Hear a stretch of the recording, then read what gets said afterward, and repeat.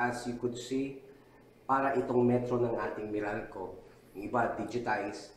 Yung iba, parang plate na umiikot. But, pareho lang yun, it applies to both. No? Kapag wala kang ginagamit na appliances sa inyong bahay, naka-zero ang digitize mong meter. Or yung kapag plate naman, hindi siya umiikot. Pero, once na nagbukas ka na ng electronic devices or ng ilaw, look,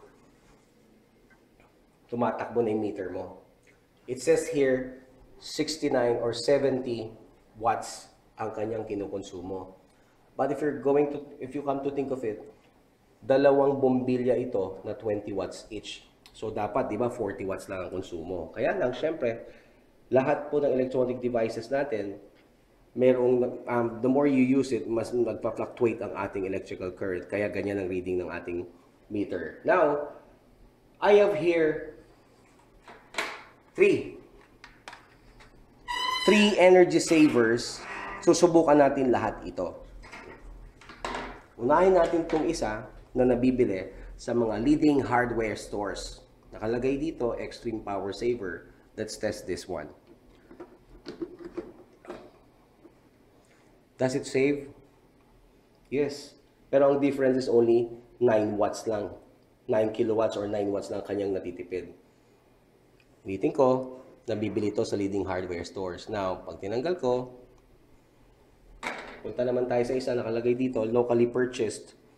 Nabibili ito sa Pilipinas. Fake, in other words. Now, lagay ko, 70 watts. Ilan ang natipid? 15 watts lang.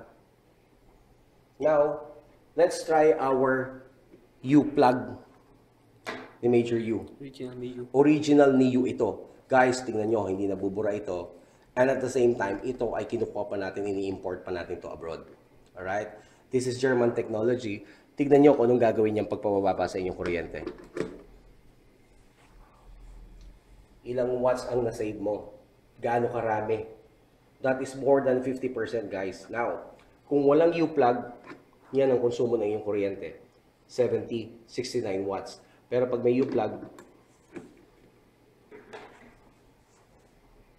ganyan siya katipid. From 69 watts to 31 watts or 32. This is, this is amazing. Ibang klase ito.